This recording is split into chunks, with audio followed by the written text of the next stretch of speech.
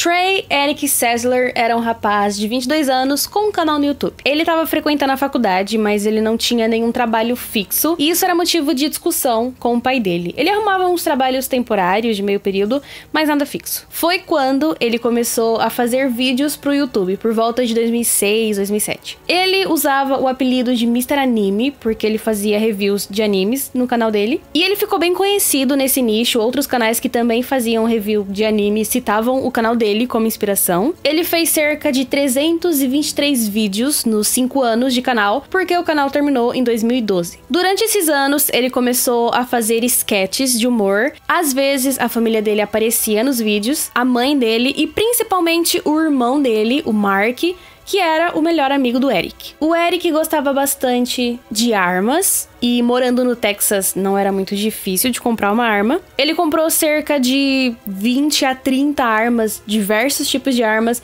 e ele revendia, trocava, comprava mais. Ele chegou a andar armado dentro de casa. Ele começou a fazer vídeos com essas armas, vídeos dele atirando em lugares vazios ou atirando em objetos. Tem um vídeo dele atirando em um sofá. Depois de um tempo, já não eram sketches de humor, agora eram vídeos voltados à violência e armas. Os vizinhos e parentes distantes do Eric, a tia dele, por exemplo, disseram que ele era um menino estranho e calado. Ele começou a beber bastante e ele misturava bebidas com drogas, drogas prescritas e drogas não prescritas. Em um lugar eu li que ele tomava remédios para depressão. Olhando a infância dele, ele não sofreu nenhum tipo de abuso ou trauma, até onde se sabe. Na verdade, era o contrário. Os pais dele sempre deixavam ele fazer tudo o que ele queria. Tudo que ele precisava, ele tinha. Ele tinha uma família estável e normal. Inclusive, ele foi morar em uma casa que era da mãe dele.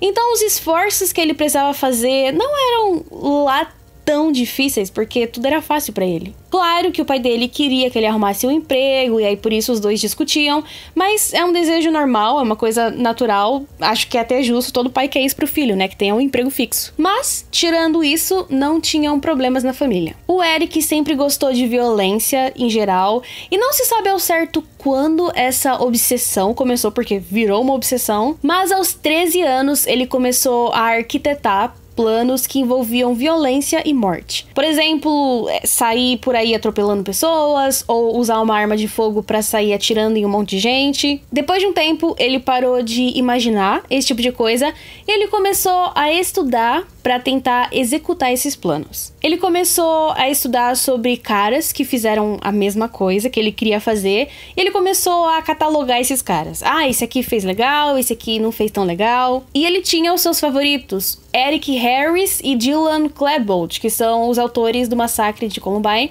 Todo mundo conhece esse caso. Ele viu o documentário sobre o caso diversas vezes. Ele sabia o nome das vítimas, ele sabia a hora dos disparos, como o crime aconteceu. Ele também também gostava do Ted Bundy, que é um outro caso muito famoso de um serial killer. O desejo dele era ser um assassino, mas ele queria fazer algo grandioso, algo para ser lembrado.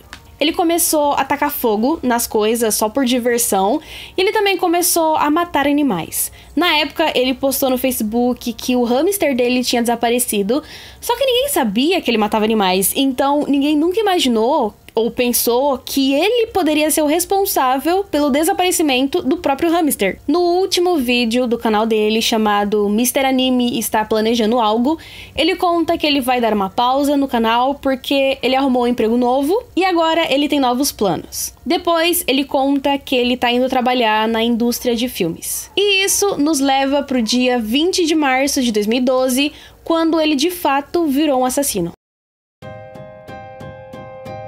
No dia 20 de março de 2012, a polícia foi chamada por uma vizinha que tinha escutado tiros durante a madrugada. Quando a polícia chegou no lugar e quando eles entraram na casa, eles viram que lá dentro tava um caos. As vítimas foram Leighton Sessler, um professor de 58 anos, a esposa dele, de 57 anos, Rhonda Sessler, e o filho mais velho do casal, Mark Sessler, de 26 anos. O autor do crime foi o filho mais novo do casal, Trey Eric Sessler. O Trey foi de madrugada para casa dos pais e ele chama a mãe dele na garagem e aí ela aparece. Nisso que ela aparece, ele atira quatro vezes contra ela na região do torso e ela cai. Quando ele fez isso, ele percebeu que agora era muito tarde, que ele já tinha feito e não tinha como voltar atrás. Não tinha como ele contar pro irmão dele e pro pai dele o que ele tinha acabado de fazer. Por isso, ele decide seguir com o plano. O irmão e melhor amigo dele, o Mark, desce para ver o que está acontecendo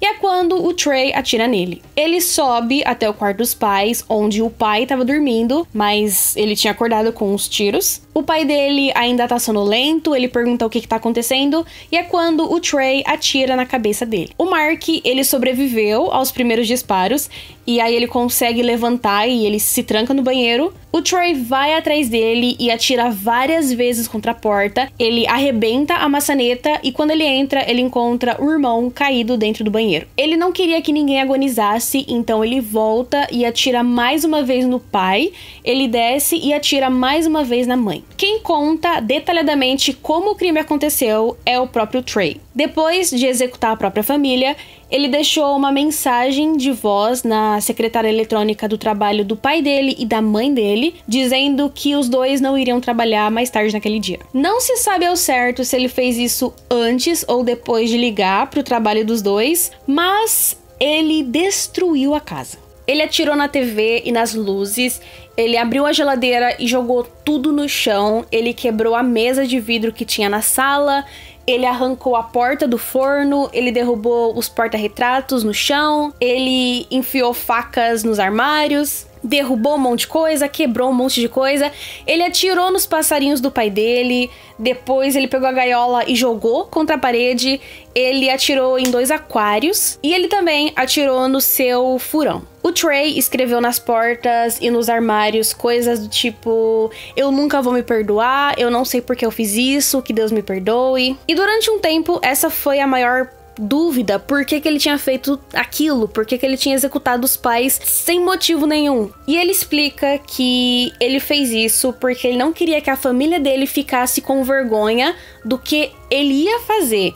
Porque o plano principal não era matar a família dele, isso era só consequência de um outro plano maior. Depois do crime, ele dirige até a escola onde ele estudou, a Waller Junior High School, e o plano dele, o plano principal, era começar um tiroteio. No carro, ele tinha algumas armas, e uma das armas que ele escolheu era a mesma arma que tinha sido usada em Columbine, ele queria matar 70 pessoas e na época seria considerado o maior número de vítimas em tiroteios em escolas. Ele dirige até essa escola e ele fica lá sentado no estacionamento olhando para a escola, mas no fim ele não executa o seu plano porque ele disse que estava tudo começando a ficar real demais. Horas depois, ele é preso pela polícia do Texas. Ele foi interrogado e às vezes ele mostrava arrependimento e chorava, às vezes ele agia como se outra pessoa tivesse cometido o crime, como se não fosse ele. Eventualmente, ele confessou tudo, os seus planos, as suas pesquisas, a obsessão que ele tinha, o que ele tinha planejado fazer e como foi a execução da família dele. Ele foi julgado e condenado à prisão perpétua sem direito a condicional. Durante um tempo, na cadeia, ele teve que ser observado caso ele tentasse tirar a própria vida. Muito obrigada se você assistiu até aqui. Os links e referências estarão aqui na descrição. Se você conhece algum caso, quer que eu fale sobre algum caso específico, você pode deixar aqui nos comentários. Muito obrigada pela sua audiência. Um beijo e até o próximo vídeo.